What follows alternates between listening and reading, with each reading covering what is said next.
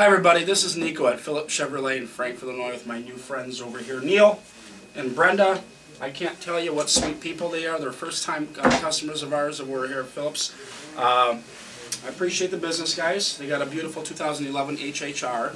So, uh, how was your experience today at Phillips, guys? I'm very happy. Niko, you did a great job. I really, really appreciate the help you gave me. Absolutely wonderful. Great salesperson. Great. So we all did good here, Phillips Chevrolet, me and You everybody. guys, all you guys were very good at what you did. Would you recommend really- me in the dealership to all your Definitely. family and friends? Absolutely. Definitely.